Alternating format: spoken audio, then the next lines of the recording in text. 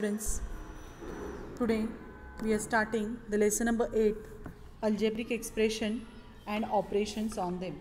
So, here in this lesson inside, first of all, let's learn the algebraic expression. So, which are called as algebraic expression? So, for that, here it is one activity given. Let's add the arrangement of the sticks given below. So, we have to take the matchsticks and this activity also you have to do in your activity book or notebook inside you are going to send me so here that matchsticks are there no that we have to arrange in the square we have to arrange in the square and then if for making one square how many matchsticks are required four matchsticks are required now you have to make that four uh, two squares so here if we join this so how many matchsticks are required? 1, 2, 3, 4, 5, 6, 7. 7 matchsticks are required. Now if you want to make the 3 squares, then how many matchsticks are required? 8, 9, 10. Means here 10 matchsticks are required. In this way, if you are increasing the number of squares, then here 13 squares are there. 13 matchsticks are required for that. So here for making 4 such squares, we need the 13 matchsticks. So in this way, if you are increasing the number of squares inside it here, then you will understand that the number of matchsticks are also increased. Okay. So here, according to this here, arrangement of the sticks are given for making one square. How many squares we made it here? Only one square we made it. And how many matchsticks are required here? Four matchsticks are required for making one square. So here, 4 means what? 3 plus 1, 4. 4 means 3 plus 1 here they are taken. And 3 means what? 3 ones are 3. 3 ones are 3 means 1 square, 3 matchsticks plus 1 it is required. Okay. So here in this way if you see here for making 2 squares 7 matchsticks are required. 7 means 6 plus 1. 6 means 6, 3 2s are 6 plus 1. For making 3 such as squares what? How many matchsticks are required? 10 matchsticks are required and 10 matchsticks are required. And that matchsticks what happens? Here if you see here 10 means what? 9 plus 1 and 3 3 is a 9 plus 1 is also 10 so in this way if you see here if you want to make here 4 then 4 means 4 for making 4 we seen it now in previous i will show you i shown you. 13 matchsticks are required. 13 means what? 12 plus 1 and 12 means what? 3 4s are 12 plus 1 in this way the number of squares if you will increase you will notice that the matchsticks are also required in the more more 3 so here how many matchsticks are required? So number of sticks is equal to 3 into number of squares. If number of square is 1 3 ones are 3 plus 1 means 4 matchsticks are required. If number of squares are 2 3 2s are 6 plus 1 7 matchsticks are required. If number of squares are 5 suppose we are taking 5 3 is a 15 15 plus 1 is equal to 16 matchsticks are required. In this way we made a one equation from that we can find the nth number. Suppose the nth number means what? Suppose i will take the if i want to make such a 100 squares then how many matchsticks are required? So for that it's not necessary to draw that every time do this and then uh, find the how many squares are required. So you can use the formula. So 3 into 100 means 300 plus 1 means for making such a 100 squares 301 matchsticks are required. Okay? So in this way the algebraic expression we made it. So here the number of matchsticks is equals to what we have to write? 3n plus 1 mean number of square plus 1. So here inside it the number of square change it could be any number 2, 3, 4, 10. We do not know the number of squares. Write the uh, letter in its uh, place. Here the number of squares as shown in the letter n. n is a variable so the equation is the n means it is changing the number of square increase uh, if we increase or decrease is depends on it. And so n is changing and that's why n is means equation is equal to 3n plus 1 so here 3 1 plus 1 n is the algebraic expression in the nth variable. Now here all of you understand how the algebraic expression is made. This part will not coming for the exam but it, its understanding is important. Now here the additions examples are given Okay. Tell me how many balls are here? 1, 2, 1, 2, 3 balls. So here we wrote it here 3 balls. How many triangles are there? 1, 2, 3. 3 triangles are there. How many T's are there here? 1, 2, 3. So if you does see here, we count it and we understand that how many balls, how many triangles, how many T's are there that we find it. Now tell me how many things are there here. If we say that we can we add the ball and bat. Here how we add the balls with each other. Okay, how we add balls with each other. In this way, can we add the bat and ball both inside uh, both? So its answer is no. We cannot add bat and ball together. Why?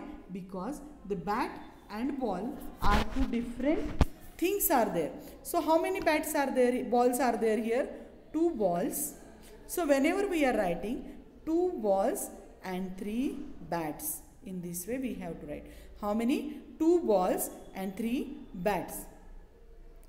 Then here how many mangoes are there and how many gavas are there? So here also we can write two gava mangoes and three gavas. Okay. Now in the next expression, how many x are there? 1, 2. So 2x and how many y's are there? 3y. So from this what we are understanding that bat plus doll we cannot add together. So instead of this if I will write here 5 then my answer is wrong because here two balls and two bats these different quantities are there. Okay. So same things if I will take here add again I will take if here suppose two balls so then I can add ball plus ball that is 4 balls I can take. But I can add ball into ball, ball plus ball, bat plus bat. Okay. So we can add it. Now here in this example inside one more it is there you know that perimeter of rectangles formula you learn from the fourth standard perimeter area that formulas you learn okay so from this what we are understanding that what is the perimeter of rectangles formula? 2 into length plus breadth.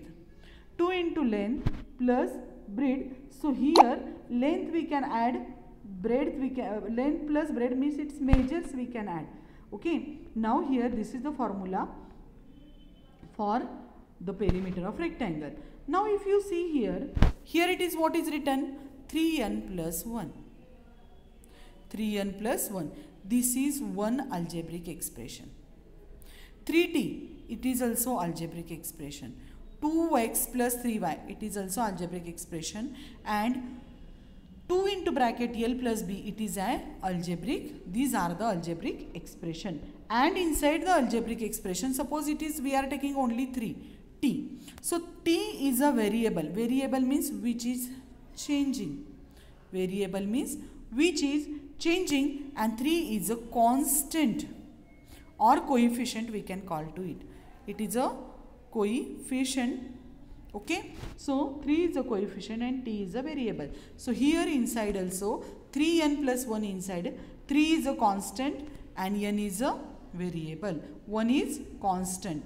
Now here in this way the constant and variables make the what the algebraic expression.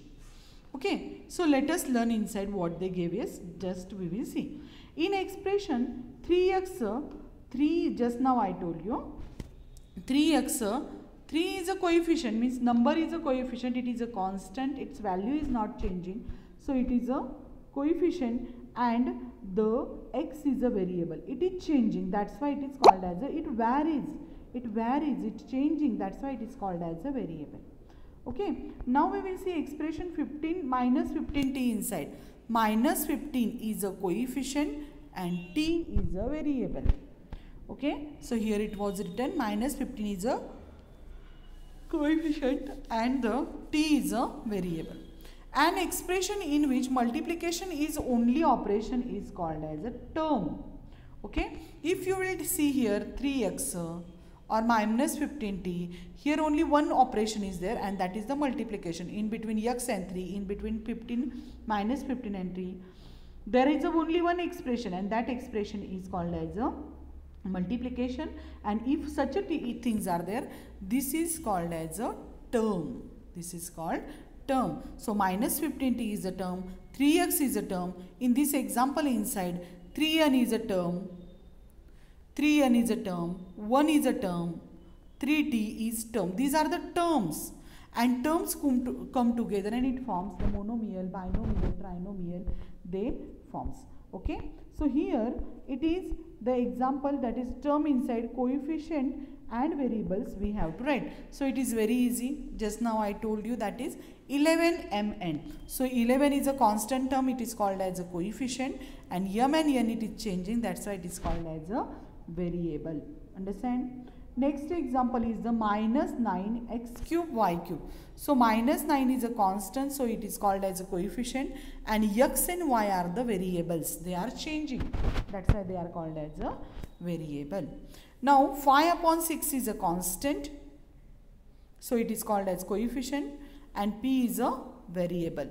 A you will say that teacher a doesn't have any coefficient but where there is a no number there 1 is present. So 1 is a coefficient and a is a variable. Okay? So so the 1 is a coefficient and a is the variable for this.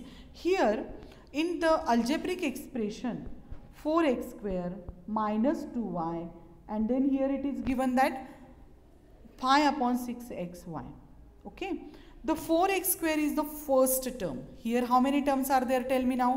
First term, second term and third term. Okay. Terms definition inside I what I told you. There is only one operation in between the uh, numbers and the variable and that operation is the multiplication then we can say that it is a term. So here three terms are there. First term is this, second term and this is the third term okay? So in first term inside that is 4x square. 4 is a coefficient and x square x is a variable. Okay? So 4 is a coefficient in it. Minus 2y inside minus 2 is the second term and coefficient of this is the minus 2 coefficient is minus 2 wanted here. Okay? It was mistake and 5 upon 6 xy in xz inside 5 upon 6 is the coefficient inside it. So the algebraic expressions minus 15 minus x has a two terms okay. So if you move here upside 15 minus x not they are not taken example from there. So 15 minus x has a two terms which are those terms this is the constant 15 term and x and in between them the minus sign is there and terms definition is there if there is a multiplication. If only one term is there, then there will be multiplication sign. So the first term is the 15 is a number and second term is minus x uh, and the coefficient of the variable minus x coefficient is the minus 1. The term which have the same variable they are called and same power they are called as a like terms. So like terms means here it is given here are some terms given here only x is there here also only x is there and here also only x is there. So, these 2x, 5x, minus 2 upon 3x, these are called as a like terms. These are called like terms because variable is same, its power is also same. Okay. Now, in this example inside also if you see, then minus 5 and 6 upon 7. Here variables are x square y and here y x square. Here position is changing but x power is 2 only here also. The power of x y x square I will write here y x square. Its position changes but multiplication inside positions there is no problem because if you are writing 3 2s are 6 and 2 into 3 also 6 its value is not changing. Means if position is changing there will be no problem. But problem is there if index is changing. So here x index is 2 here also x index is 2 here is y's index is 1 here 1 so the minus 5x square y and 6 upon 7 y x square are also the like terms. Okay? Now we will see the unlike terms. Which? Unlike terms. Here a group of there are three terms given here the variable is x and y only. x and y only. And then